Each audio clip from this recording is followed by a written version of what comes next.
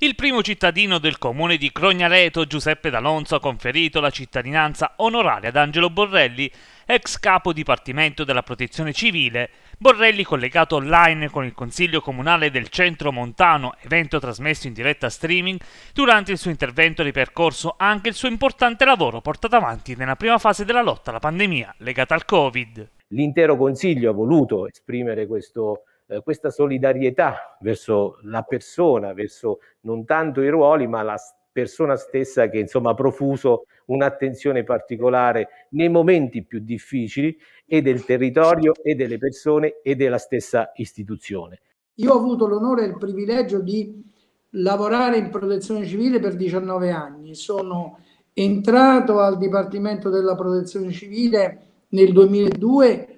e ho visto tutti gli eventi calamitosi che hanno colpito il nostro paese, ma ho visto anche grandi momenti come quelli che erano i grandi eventi culminati nel G8 dell'Aquila in cui la protezione civile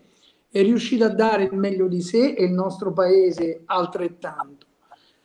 Ho avuto modo di conoscerti e di conoscere le difficoltà del comune di Crognaleto durante il terremoto del 2009 e come hai detto tu abbiamo avviato un percorso, un confronto, un'attività di supporto perché vedete fare il capo della protezione civile significa mettere al servizio dell'intera collettività tutto il proprio tempo e le proprie energie e non tirandosi mai indietro. Il mio modo di operare, come tu hai ricordato, attraverso le plurime telefonate era il modo per risolvere i problemi. Eh, siccome i problemi sono tanti e le eh, esigenze che arrivano